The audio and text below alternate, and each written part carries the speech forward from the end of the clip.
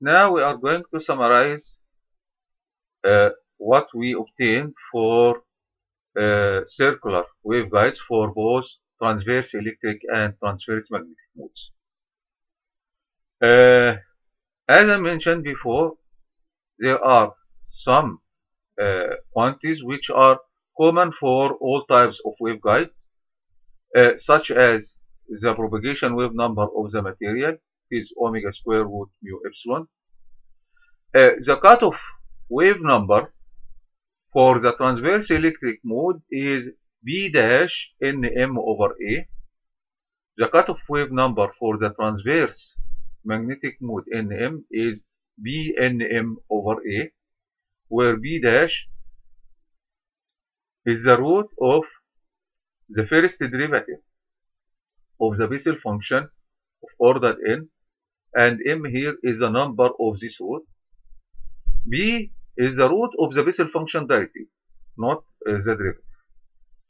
Beta, the propagation wave number, equals square root k squared minus kc squared, which is the same for both T and Tm.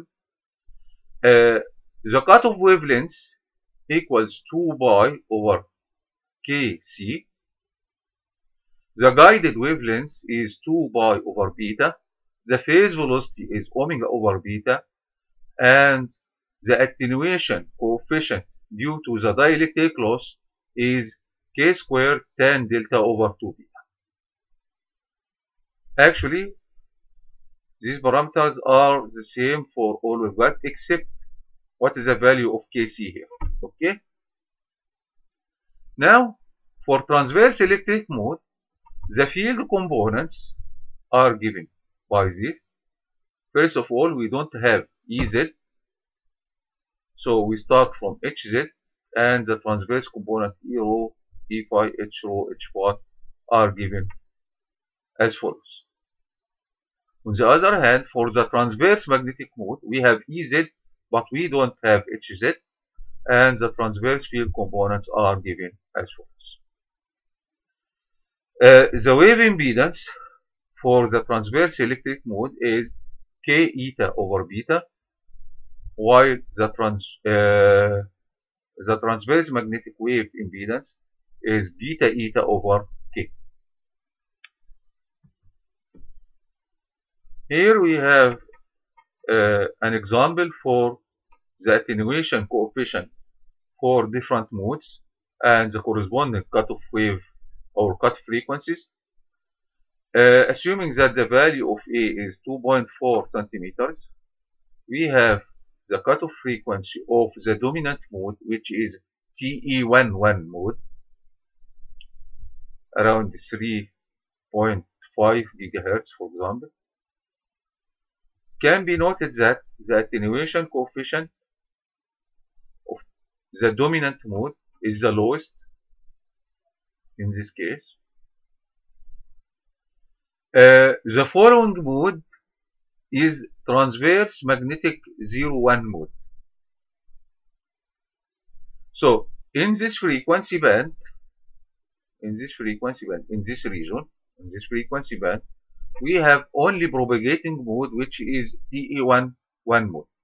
But above this frequency, we have two modes, TE1 mode and TM01 mode. And as I mentioned before, it is preferred to use the waveguide in a single mode. So in this case, it should be used above the cutoff frequency of the lowest mode and below the cutoff frequency of the following mode. Here the following mode is TM01 mode. And it can be noted that the attenuation coefficient of the transverse electric mode is less than the attenuation coefficient of the transverse magnetic mode. This can be explained uh, due to that in the transverse magnetic mode uh, we have uh, H phi H phi component greater than H phi component in the transverse electric uh, the following mode is TE01 mode and it should be noted we don't have 1 0 we have 0 1 mode here okay and in general the attenuation coefficient of the transverse electric modes is usually less than the transverse magnetic modes. Uh, an example, find the cutoff frequencies of the first two propagating modes in a Teflon filled circular waveguide with radius A equals 0.5 centimeters. If the interior of the guide is gold plated, calculate the overall loss in dB for 30 centimeters operating at 14 gigahertz. Uh, I remember Teflon has a dielectric constant is 2.08.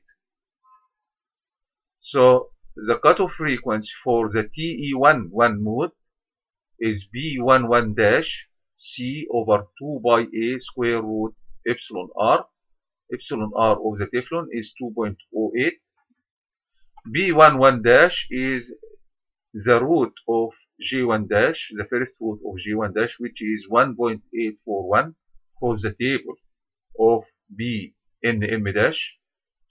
C is the wave velocity of light in free space, 3 multiplied by 10 to the power 8, which actually 1 over square root mu naught epsilon naught, and 2 by A here is 0.5 centimeter. So 0.5 multiplied by 10 to the power minus 2 is 0.005 a square root epsilon r 2.08. Uh, so the cutoff frequency of TE11 mode is 12.19 gigahertz. In a similar steps, we can obtain the following mode is TM01 mode,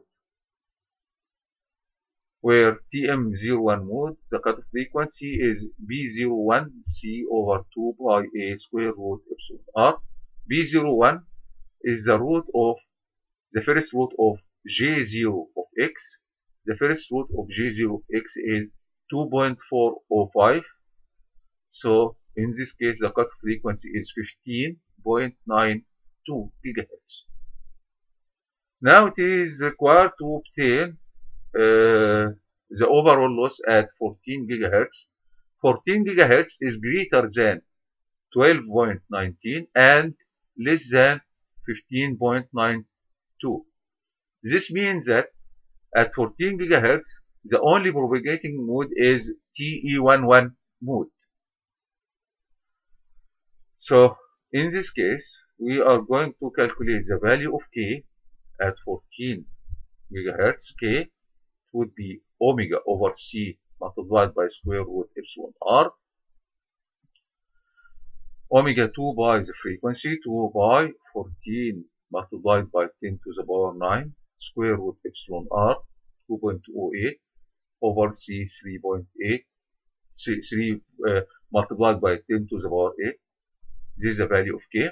From the value of k, we obtain the value of beta, the propagation constant.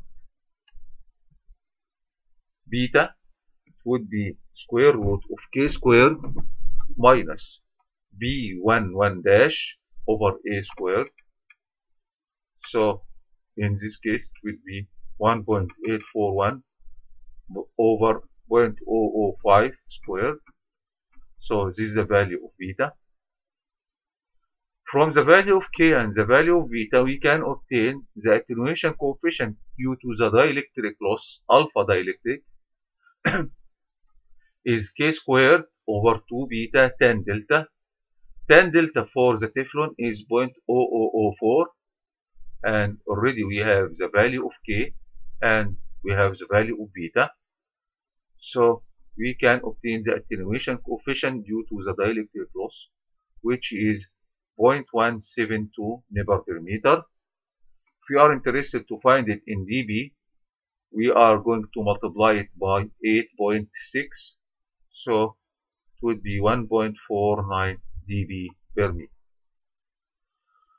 On the other hand, for the conductor loss, we are interested in calculating the surface resistance the surface resistance is the square root of omega mu naught over 2 sigma.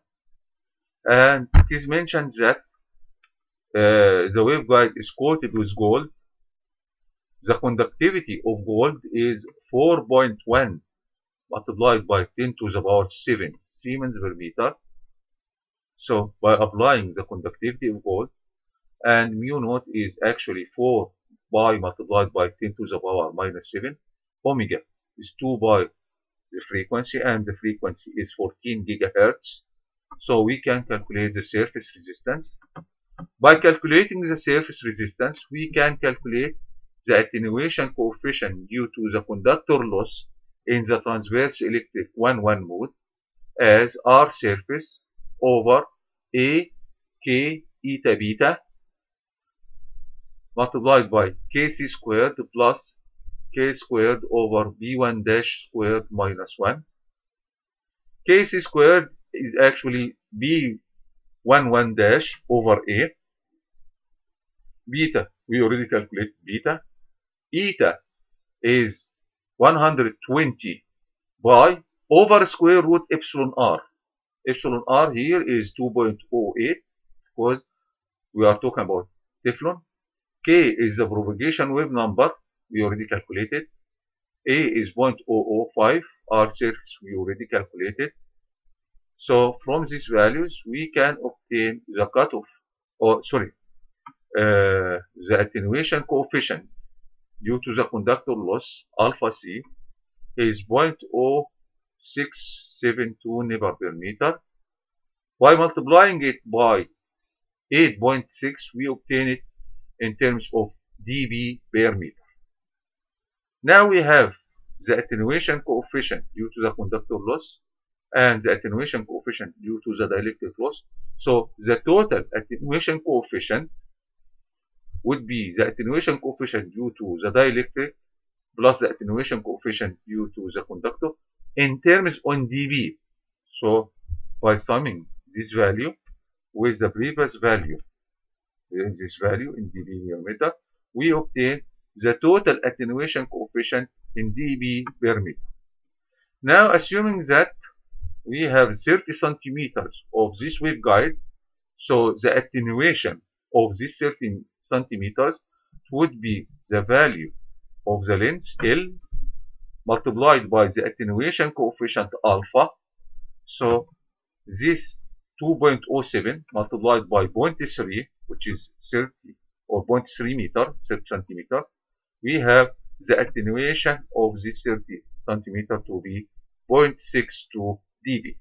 This is the attenuation due to this section of this waveguide at the frequency 14 gigahertz. Okay. All right.